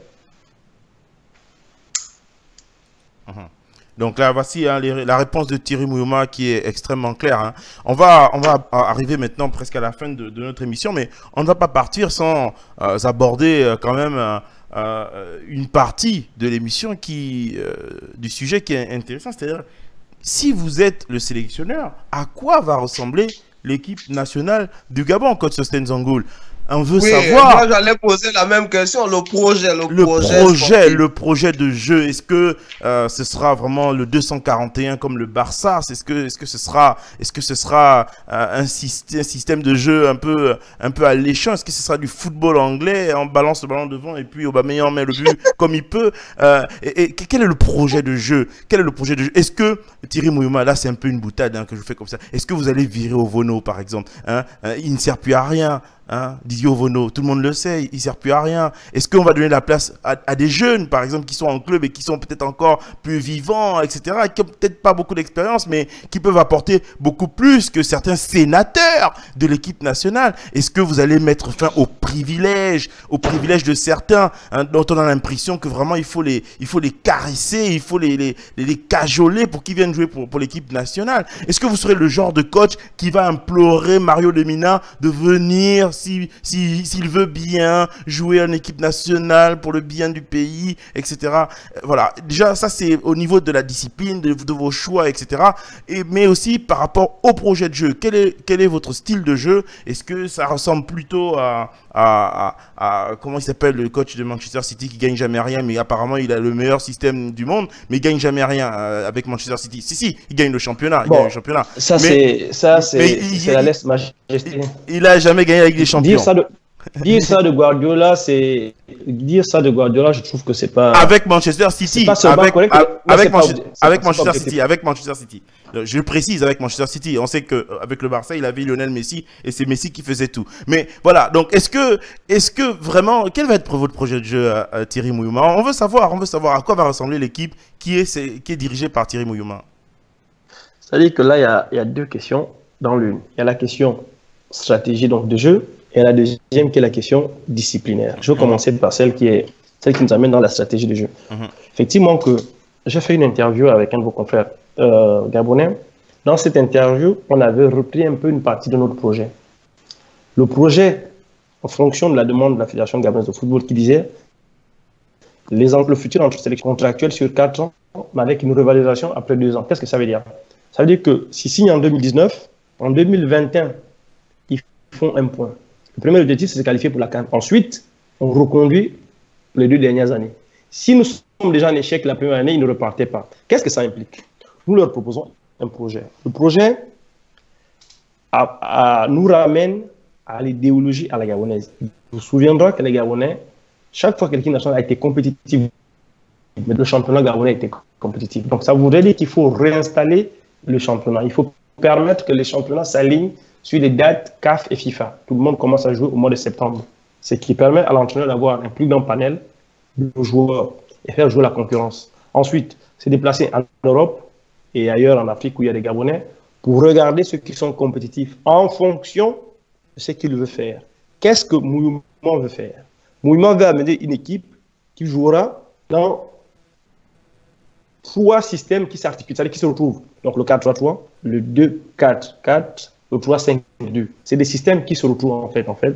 J'ai une euh, idéologie, j'ai une formation euh, de l'Ajax, parce que j'ai joué à l'Ajax. Et quand je commence à entraîner, je travaille sur les travaux de Cruyff. Ensuite, j'ai repris les travaux de Guardiola, donc, dans lesquels je participe encore avec des échanges. Vous comprendrez que le système de jeu, c'est pas le plus important, ou la position de base. C'est les hommes qui l'animent. Pour choisir les hommes, nous avons l'avantage, aujourd'hui, Gabon, depuis des années, de ne pas avoir ces gabarits imposants. Donc, nous rechercherons à faire jouer, surtout dans le centre du jeu, les garçons capables d'occuper plusieurs euh, possibilités et des postes. Donc, on, on, ramènerait à une façon gabonaise de jouer. À l'époque, on était très fort dans le 4-4-2. Le 4-4-2, il est un peu évolué. Au jour d'aujourd'hui, je ne pense pas qu'on soit capable, avec les joueurs actuels que j'ai vus dans le championnat gabonais, de jouer un 4-4-2 compétitif. Parce que là, il faut trouver autre chose. Donc, on va rapporter un championnat. On va permettre aux catégories inférieures de jouer. C'est-à-dire qu'il faudra, chaque fois que l'équipe nationale jouera un match amical, les U23 devront être compétitifs aussi. Les U23, c'est l'antichambre des A. Et ensuite, les U20 devront eux aussi être compétitifs pour, chaque sur, les deux années, au moins que les gens passent des catégories. Ce qui permettrait à l'équipe nationale A de remplacer certains joueurs qui seraient amenés à partir en retraite ou à arrêter. C'est la première chose. La deuxième, c'est quand vous parlez de. Je parlais des critères de, présélection des sélections. Le joueur qui sera convoqué en sélection est obligé de venir en sélection. Si le joueur ne vient pas en sélection, mais euh, le législateur sportif a mis des garde-fous, la fédération saisit les instances et le joueur est suspendu automatiquement au club. Qu'est-ce que ça fait? Ça empêche les joueurs d'être plus importants que leur équipe nationale. Nous, quand même, nous parlons quand même de drapeau, nous parlons de représentativité. C'est-à-dire qu'il est, il est que l'équipe nationale, le sélectionneur ou un dirigeant aille supplier un joueur pour venir défendre son pays, sa patrie. Parce que quand on parle de patrie, moi je le compare ici à la mère qui nous a donné la vie. Votre mère sera en danger, on doit vous supplier, vous donner l'argent pour aller défendre votre mère. C'est ça dont il s'agit. Donc le joueur qui ne veut plus jouer en équipe nationale, qu'est-ce qu'il fait? Il fait un courrier. Moi je l'ai fait en 2006 quand j'ai arrêté l'équipe nationale. Je dis, moi, c'est le moment, à partir de ce jour, j'arrête de jouer en sélection, je ne veux plus être convoqué. Je n'ai plus jamais été convoqué. Donc, je risquais aucune sanction. Le joueur qui ne voudra plus, peu importe son nom, il fera un mot où il dira, je ne peux plus, je ne veux plus jouer pour le Gabon. Et à ce moment, nous continuons avec les autres. Le roi est mort, vive le roi. Voilà ce que j'ai envie de dire au jour d'aujourd'hui. Nous n'irons pas chercher les gens dans leur lit ou dans leur ville, les supplier, s'il te plaît, le pays, non. Je pense qu'il y a tellement de ressources, au pays. Si le championnat est compétitif, on peut rendre cette équipe football attractive et compétitive sur le plan, euh, sur le plan euh, continental. Mmh. Voilà un peu les, les, les, réponses. Ok, des réponses, des réponses extrêmement claires. Euh, Est-ce que, par exemple, au Gabon ou à l'étranger, vous avez déjà repéré des, des, jeunes que, que le grand public ne connaît pas forcément, mais, dont vous, vous, avez analysé qu'ils avaient des, capacités dignes euh, d'occuper euh, certains postes euh, de l'équipe nationale, par exemple le constat que je fais, je fais remarquer ici, c'est qu'en France seulement, le Gabon peut arriver à créer deux à trois équipes. Pourquoi? Parce que tous les déçus du système gabonais. En 2012, quand ils ont créé le championnat prof, professionnel sans garde-fou, sans le statut de footballeur professionnel, tous les garçons qui ont été déçus, à qui on avait promis 400 000 d'entrée, qui ont perçu au départ et non plus, qui sont France. Euh, pour la petite histoire, nous faisons des matchs des fois les week-ends, pas plus tard que samedi, on a joué contre les Congolais. C'est des garçons, pour certains, qui ont côtoyé l'équipe nationale A, l'équipe nationale A prime, donc l'équipe du Chan, les U23 et les U20. C'est des garçons ici que nous avons déjà identifiés qui jouent ici. Donc, il s'agira de quoi? De mettre en place une coordination. Une coordination France qui est sous la coupelle de la DTN. Une coordination Afrique, peut-être de Maghreb, parce que les Gabonais aujourd'hui jouent au Maroc et en Tunisie. effectivement que si vous faites une détection en France, on sait qui viendra. Qui viendra Mais les garçons qui sont déjà dans le fichier. Vous voyez, aujourd'hui, l'équipe nationale a joué, les, les derniers matchs de l'équipe nationale, il y avait deux joueurs, je disais, que j'ai eu en U20 euh, Loufilou, que j'ai été détecté à Manda, qui n'avait jamais joué en pleine division Gabon, et le gardien actuel de l'équipe nationale qui joue en Afrique du Sud, euh, Jean-Noël Amonomé, que j'ai eu à 105, qui aujourd'hui était le, remplaçant de Bono. Donc, c'est des garçons que nous avons déjà identifiés, que nous connaissons. Et voilà l'avantage que nous avons aujourd'hui avec cet encadrement euh, à 80% gabonais. C'est que nous connaissons les réalités, nous connaissons les joueurs, et il y a une certaine proximité. Parce que je ne viens pas avec n'importe qui, je viens avec des garçons comme Cédric Moubamba, qui a joué dans un passé récent avec certains des joueurs que vous avez cités. Donc il y a une espèce de respectabilité entre eux, il y a une espèce de confiance. Mhm. Une espèce de, de, respectabilité, de confiance, hein, vous dites. Euh, Coach Sosten Zangoulou, on arrive quasiment à la fin de l'émission. Il y a quelques questions hein, des auditeurs. Alors, les auditeurs sont quand même mitigés. Hein. Euh, certains vous comprennent, certains vous disent euh, vas-y Thierry, certains vous saluent simplement, d'autres vous disent mais mais mais mais, sont, sont, comment dire sont dans l'expectative, ils s'interrogent, ils se disent mais mais qu'est-ce qu'il va faire là-bas Voilà. Par exemple. Sergei, Sergei Kaiser Sosé. Sergei, il a beaucoup animé l'émission là sur, les commentaires. Je crois qu'il a dû poster au moins, au moins un commentaire par minute. Donc il faut au moins que j'en prenne une, sinon il, va m'envoyer un cocktail Molotov. Euh, Sergei, euh, qui vous dit, aurez-vous une simple casquette de, sélectionneur ou plus un rôle de, manager général? Hein, Ça c'est une question de, de Sergei par exemple. Euh, il faut se tenir au cahier des charges, le rôle qu'on vous donne. C'est parce que j'aurais pu quand nous avons préparé la mission, donner le poste de la Fédération gabonaise de foot. Qu'est-ce qu'il recherche Il cherche un sélectionneur. Et, dans la deuxième recommandation, qui participe à la refondation technique de la fédération, c'est-à-dire qui, qui participe à la formation des cadres techniques de la fédération. Et c'est tout. Moi, je suis, avant, je suis entraîneur de football, je suis également manager sportif de carrière. Qu'est-ce que ça nous amène? Le management sportif nous entraîne à quoi? Anticiper les événements. C'est tout ce qu'on voit en ce moment. Le match, c'est en juin, et commence à s'activer en fin mai. Nous, en arrivant, on veut anticiper les événements. On dit ceci. Les A joueront les matchs amicaux. Si je prends un exemple, nous jouons le Ghana en match amical. Si nous allons au Ghana, l'équipe U23 du Ghana doit être capable de venir jouer au Gabon contre le U23. Ça permet que tout le monde soit compétitif, les gens se frottent aux compétitions internationales, les gens se familiarisent familiarise à la stratégie et à la philosophie. Si on prend un gamin en U23, il est prêt à pouvoir jouer avec les A. Donc, en effet, Sergei, oui, on ira avec une casquette un peu plus élargie. Le type de sélectionneur qui est sélectionneur et vit en Europe, ce ne sera pas notre cas. Mmh. C'est aller dans les provinces, asseoir avec les DTN, les DTP, les DT techniques provinciaux, qui, deux, doivent utiliser le réseau de profs sport et permettre aux garçons de pouvoir jouer en semaine, donc le jeudi, et le samedi. Uh Effectivement, former ces personnes également à la pratique, si possible à l'éveil, parce qu'il faut comprendre notre problème au Gabon, c'est la formation. Il faut arriver à amener des cadres qui sachent exactement de quoi ils parlent à un gamin. Quand ils parlent d'un contrôle, de... parce que le problème aujourd'hui, c'est le BABA. C'est comment recevoir ce ballon, donc la réception, le contrôle, le positionnement du corps, la passe, euh, l'après-entraînement, entraînement invisible, donc la récupération, comment il faut manger, boire, mhm. s'étirer. C'est autant de choses qu'il faut arriver à amener, donner aux gamins dès qu'ils ont l'âge de 15 ans. Ils sont en pré-formation. Quand ils rentrent dans, le, dans la formation 17-18 ans, ils ont déjà des armes avec le développement du corps qui va commencer à arriver et mettre en place aussi ce qu'on appelle la prophylaxie.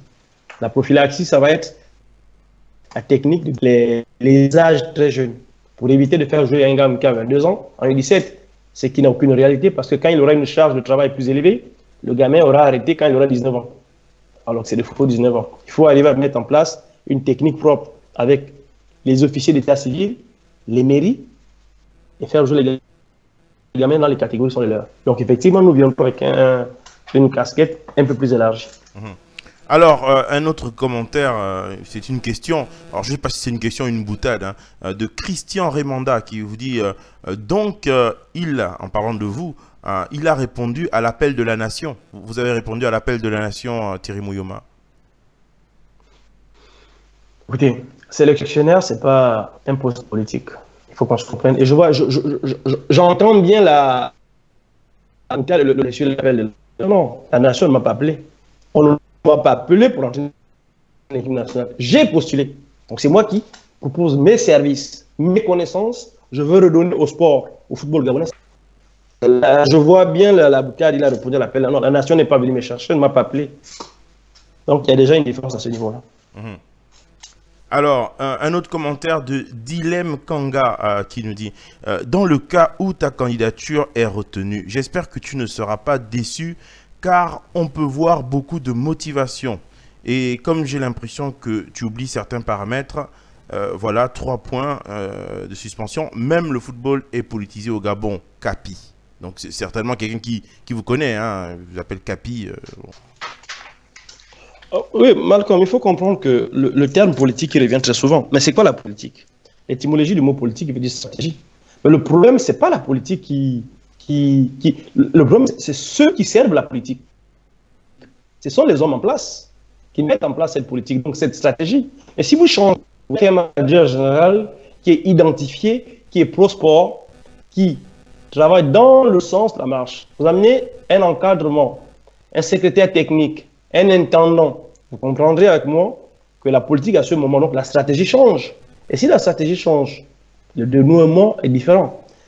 Mais il y a autre chose que je tiens à préciser. Je ne suis pas en train de. Je suis quand même pas né de la dernière ou tombé je ne sais d'où. Effectivement, que je, comprends les inquiétudes des uns des autres qui disent, euh, comme celui qui me dit, euh, je serai déçu. Ah oui, certainement. C'est comme dans une relation amoureuse. Euh, on y va avec l'enthousiasme, mais à un moment donné, quand ça ne marche plus, il y a la déception qui est en train de compte. Oui, mais bon, euh, le, vrai problème, le réel problème ici, serait de ne pas risquer. Il faut bien que je prenne ce risque. Et ce n'est qu'à la fin que je saurais si risque était euh, à ce moment utile ou pas. Mhm. la, déception, à un moment, elle, peut être due à quoi? Elle peut être due à, au mauvais résultat. Elle peut être due au fait que j'ai déchanté parce que je, je m'attendais, j'étais tellement enthousiasmé, je me disais que c'était beau, ça pouvait repartir, et que j'arrive, les gens restent, campent dans leur position, n'acceptent pas l'encadrement, enfin pas n'acceptent pas, mettent l'encadrement et que les moyens ne suivent pas. Oui, effectivement, on peut être déçu dans ce sens-là. Mais je ne dis pas ici qu'on a la solution miracle. Alors, une question de Fricus Will sur YouTube. Euh, Fricus qui, te demande, euh, tu crois vraiment que tu pourras faire ton travail sans être embêté par des gens du système? C'est la même question qui revient. Elle n'est pas loin de la première question que je vais donner réponse. Dit qu'au jour d'aujourd'hui, si j'avais les réponses, je vous donnerais, je dis oui, voilà la garantie qu'on m'a donnée, voilà ce qu'on m'a dit, mais j'ai aucune réponse. J'ai postulé, j'attends comme les autres que le, comité, la commission examine la validité des, dossiers et ensuite que la commission commence à examiner en fonction des projets, des profits des uns et des autres. Mmh. C'est-à-dire qu'au jour d'aujourd'hui, nous, nous avons un projet et une stratégie. C'est clair. Nous voulons un encadrement, un manager général et un intendant. Il faut comprendre qu'au niveau sportif, c'est les deux, avec l'entraîneur, qui tiennent et qui définissent la stratégie. Si nous avons, nous planifions sur une année, sur deux, et que les moyens sont déjà débloqués, il y a un payeur, si nous devons faire un stage, il faut faire un passeport, ou nous déplacer pour aller superviser un joueur, on peut avoir ça en temps en heure, je pense qu'il nous restera plus qu'à résoudre l'aspect sportif. Mais ça, c'est des conditions on ne peut exiger d'eux que si la candidature effectivement est retenue. Alors, euh, un commentaire de, Guy, euh, Guy Sen, Guy qui, te demande ne sois pas contradictoire. Comment veux-tu combattre ce système et aller encore travailler avec ce système dit illégitime et illégal?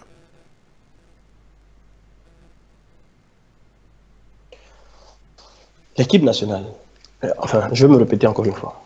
Je ne suis pas en train de partir prendre un poste de ministre, secrétaire d'État, euh, directeur d'une société. Vous voyez ce que je veux dire? Je suis en train de prendre une équipe nationale qui a à son sein, enfin pas à son sein, pas les membres qui la constituent effectivement, qui a comme dirigeants les plus proches certains pro-pouvoir actuels et d'autres anti-pouvoir.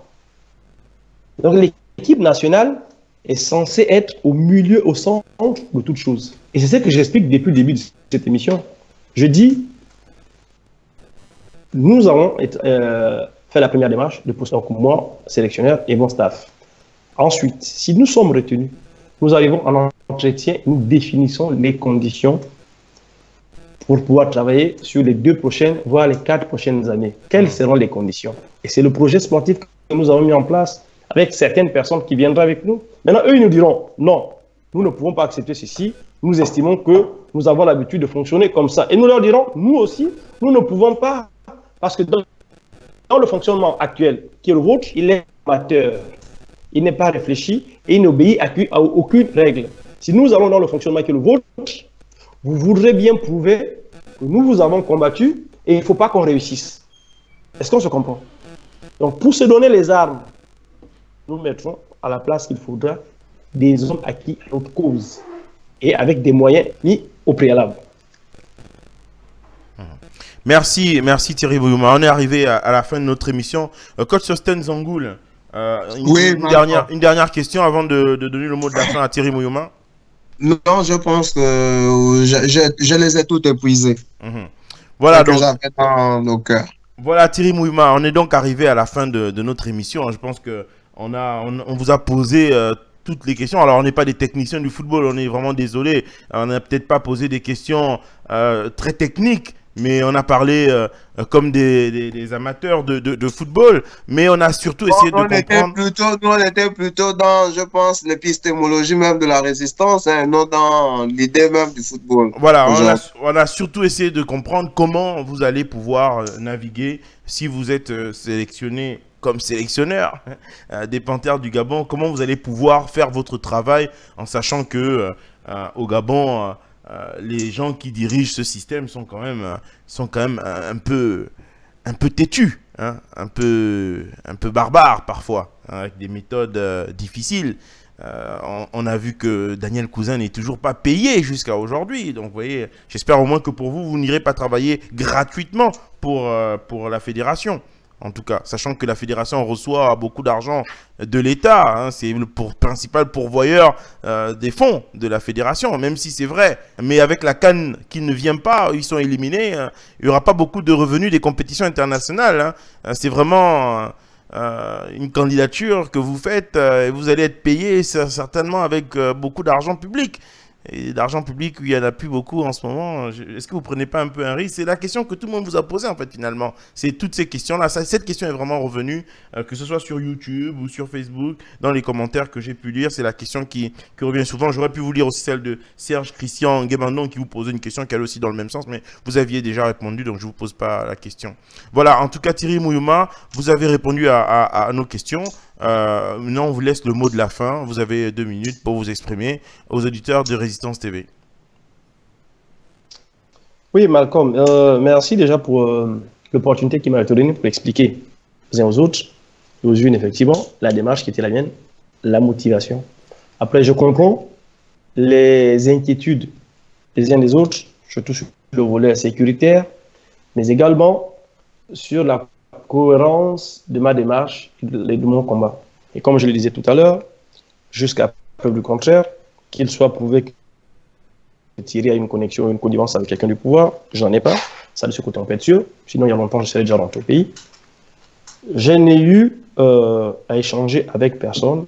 J'ai eu appel à la candidature, j'ai postulé parce que, comme je le disais dès le départ, la qualification, la raison sportive, l'envie de redonner au football ce qu'il m'a donné parce que je viens de ce milieu, je suis entraîneur de football.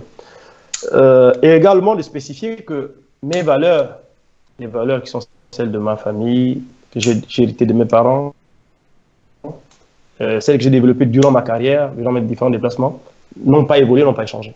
Je reste de tirer mouvement déterminé qui veut révolutionner les choses, et déjà dans son domaine. Parce que révolutionner le football aussi, c'est euh, le sens de mon combat. Regardez aujourd'hui qu'il y a des collègues entraîneurs au Gabon qui ne sont pas payés ou qui n'ont pas mis en place le statut de l'entraîneur, qui n'ont pas mis en place la charte et le statut de footballeur. Alors, c'est des choses que nous devons pouvoir mettre ensemble. Mais vous les mettez quand? Il faut que ceux qui arrivent, si c'est un Gabonais il peut mettre en place aussi quoi les réalités du pays. Si c'est un Européen, ça ne l'intéresse pas trop parce qu'il euh, vient pas pour ça. Donc il fallait spécifier autant de choses à, nos éditeurs pour qu'ils comprennent. Et surtout dire que les inquiétudes des uns des autres, ceux qui disaient à tort ou à raison, qui me voyaient pas, machin, ça n'avait aucune raison à voir avec euh, euh, le fait que j'ai postulé ou que j'aurais discuté avec X ou Y. Non. Donc voilà, je pense que cette émission aujourd'hui a permis de, a permis de lever certains équivoques, rassurer ou expliquer à certaines personnes. Maintenant, comme on dit, euh, entendra ou comprendra celui qui voudra ou celui qui pourra. Après, je serai amené à revoir certains dans pas longtemps. Dans nos rendez-vous de résistance, je serai amené à rencontrer certaines personnes et euh, je discuterai avec les personnes avec lesquelles j'ai l'habitude de discuter. Parce qu'il est hors des questions aussi que je commence à faire euh, euh, de l'explication gratuite, me mettre là en longueur de journée à expliquer tout le monde quelle était ma démarche. Parce que quand les uns et les autres prennent des engagements, ils ne se mettent pas à expliquer. Donc je ne vois pas pourquoi je commence à le faire. Effectivement, aux personnes proches, comme j'ai déjà commencé à le faire, je pourrais encore le faire. Voilà un peu celui qui va être mon mot de la fin. Et dire qu'on continue le combat et la patrie ou la mort. Merci Thierry Mouyuma. Euh, coach Austin Zangoul. Oui, Malcolm. Bah oui, tu étais le seul de la team ce soir. Alors, est-ce que Thierry Mouyuma t'a convaincu? Euh, mon appréciation, mon appréciation ce soir, c'est que bon, il a été, à mon sens, il a été il a été vrai et sans fioriture. Moi, je pense que surtout, il a été sans fioriture et de reconnaître toujours qu'il est résistant. Euh, son absence euh, à des manifestations est due à des raisons sanitaires et familiales, si j'ai bien entendu. Donc voilà, euh, moi je, je, crois, je crois surtout que au niveau, au niveau même de l'acceptation des politiciens gabonais, c'est là où je reste un peu perplexe. Mais ça, ce n'est pas de son ressort. Il a plutôt, moi, je pense qu'il a plutôt bien répondu et j'espère, et j'espère, surtout qu'il n'a pas été corrompu, surtout qu'il va rester euh, un résistant fort comme il a été par, le passé et comme il a toujours été avec ses idées, même s'il devient sélectionneur de l'équipe nationale, qu'il pense surtout à la résistance. Mhm. Merci coach Sosten Zangoul. Alors je rappelle à tous les auditeurs que euh, ce, euh, ce samedi 4 mai, à Perpignan, il va y avoir une grande marche, hein, une grande marche organisée par le collectif euh, des Gabonais de Perpignan avec euh, euh, en partenariat avec le collectif Gabon Occitanie, le CGO. donc grande marche à Perpignan, un nom à la dictature au, du, système Bongo PDG au Gabon. Donc pour ceux qui n'ont pas encore décidé de prendre leur billet, c'est maintenant. Hein, Rendez-vous à 13h30 sur la place Catalogne. C'est à la FNAC de Perpignan pour une marche euh, pour dire non au système Bongo PDG euh, au Gabon. Et euh, Coach Sosten, nous on se retrouve lundi, hein, Sosten Zangoul, on va faire un téléthon. Un téléthon pour la petite Evelyne. On n'a pas abordé le sujet ce soir parce que c'était une émission avec Thierry Mouillement, on parlait d'autres choses. Mais il se passe des choses très graves pour la petite Evelyne et il faut vraiment que tout le monde se mobilise sur le cas de cet enfant qui euh, n'en finit pas de, souffrir le, martyr. Hein, euh, non seulement, oui, Malcolm, Malcolm parce que j'ai vu un commentaire un peu qui peut me paraître désobligeant. Là, je vois deux poids, deux mesures. Peut-être parce que je vois ce que la personne veut dire. J'ai attaqué Messire sur le fait qu'il euh, demande à un résistant de ne plus résister au Gabon. Et là, je serais peut-être un peu complaisant vers Thierry Mouillouman. Non, pas du tout je pense que je poser mes questions et les questions que je poser, vous-même, vous en ferez vos déductions. Et si je dois faire des posts par rapport à ça, j'en ferai sur la quintessence de ce qu'on a tiré de cette émission. Donc, pas du tout. Je ne suis pas du tout complaisant. Voilà. J'ai un fil, euh, même pour Messire, j'avais, un cheminement et pour mon moquer mon grand, je dois avoir aussi le même cheminement. Ça veut dire le, même cheminement, c'est quoi? J'attends la fin de, de, de, de, la commission qui va euh, nommer l'entraîneur et qu'est-ce qui en ressort? Je poserai euh, je poserai mon questionnement et ma critique à ce moment-là. Ma critique, je l'ai déjà posée avec lui-même, je l'ai appelé, il a dit ici. Et je vais poser ma critique aussi ici sur Facebook. Objectif soit, objectif soit, soit-elle. Je n'ai pas insulté Messire, je ne vais pas insulter mon mot, je poserai ma critique de manière objective. Donc, il n'y a pas de deux poids, deux mesures. Mhm. Coach Sosten Zangoul, on vous laisse seul avec votre conscience. torturé. Ou en tout cas torturé par les commentaires des internautes. Coach Sosten Zangoul, mais c'est ça, vous avez une grande gueule. Mais c'est pour ça qu'on vous aime, Coach Sosten Zangoul. Il faut continuer d'avoir une grande gueule. Hein. Et puis, c'est important. Il faut, des, il faut des gueulards comme le Coach Sosten Zangoul. Voilà. Hein. Euh, Coach Sosten, euh, on va se quitter. On va libérer Thierry Mouyouma et on se retrouve nous lundi. On va faire un téléthon avec Bernice Moumoussime, euh, avec Serge Christian Guémandon, avec Stéphane Zeng, euh, avec bien sûr le coach Osten Zangoul, avec Lina Cooper, avec tous les autres membres de la team euh, Résistance TV et on va essayer de faire monter la cagnotte pour euh, Evelyne parce que là, elle va vivre des moments très difficiles puisque la CNAMGS ne veut plus s'occuper euh, d'Evelyne. Donc là, son dossier est, de plus en plus tendu. Euh, la police est, certainement attendue, enfin va certainement passer à son hôtel demain. On parle de, de déloger Evelyne de là où elle dort, je crois dans le 92. Donc c'est très compliqué en ce moment pour cette petite. Donc il faut vraiment une mobilisation de tous les résistants. Euh, si nous n'arrivions pas à chasser Ali Bongo, essayons au moins de garder Evelyne. Voilà, c'est ce que je voulais vous dire. Alors, je vous dis à très bientôt sur Résistance TV. C'est une très belle phrase comme conclusion en tout cas. Merci coach Sosten. On se retrouve très bientôt sur Résistance TV. Au revoir Thierry Mouyouma. Au revoir Malcolm, au revoir Sosten, au, revoir, tous les, les, auditeurs. Au revoir. Allez, je vous laisse avec le générique de Titan Zebi, dictature inavouée. Allez. À très bientôt sur Résistance TV. Au revoir.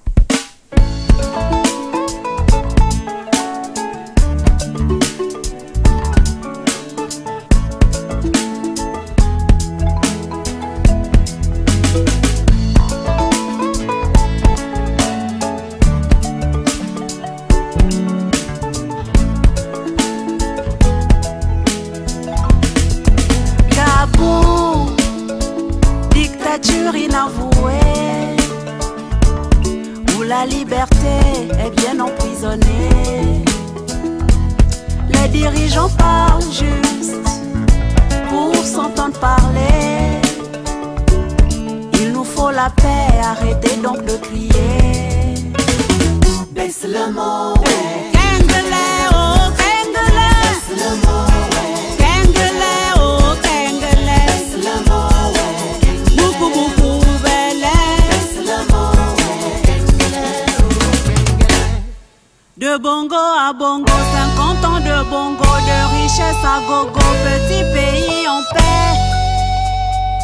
nos vies sacrifiées et nos classes saturées, nos routes éventrées pour un pays en paix.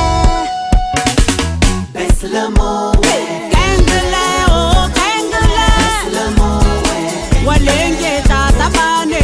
Baisse le mot, Baguette dit Kengele. Baisse le mot, dictature